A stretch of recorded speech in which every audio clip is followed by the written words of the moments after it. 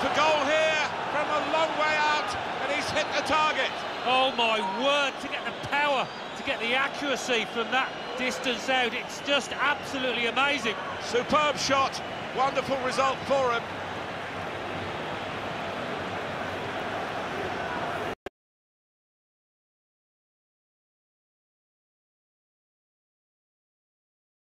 Well, a goal for Real Madrid. Well, Gareth Bale turning into